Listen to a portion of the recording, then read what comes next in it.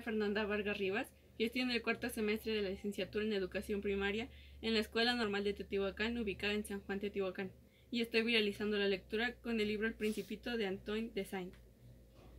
Cuando yo tenía seis años, vi una vez en un libro sobre la selva virgen que se llamaba Historias Vividas, una preciosa estampa. La imagen representaba una serpiente boa que se engullía una fiera.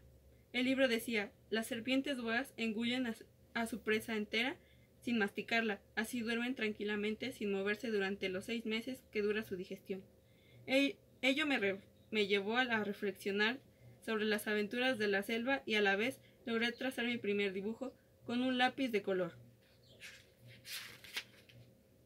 Mostré mi obra maestra a las personas mayores y les pregunté si mi dibujo les daba miedo. Ellos me respondieron, ¿por qué nos habría de atemorizar un sombrero? Pero mi dibujo no representaba un sombrero, sino una serpiente boa que digería un elefante.